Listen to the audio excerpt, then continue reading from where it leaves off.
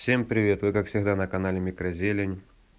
Вот он мой клеер. Вот пять дней назад я его высаживал. Вот рукола, которую я тоже пять дней назад высаживал. Ну в клевер и в руколу я подсеивал еще свеклу. Ну свекла почему-то он не взошла, видите сами.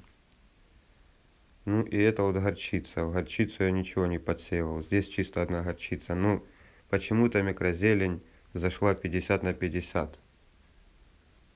Вот видите, здесь центр не взошел. Клевер тоже там частями не, нету ростков. Сейчас разбавил соды, подолью еще сод, ну, соды, раствор. Пол-литра воды и чайную ложку соды. Размешал, сейчас пролью. Посмотрим, это что-то в дальнейшем изменит или нет. Ну почему-то у меня взошла этот раз микрозелень вот так. Кто знает, напишите в комментариях, почему так.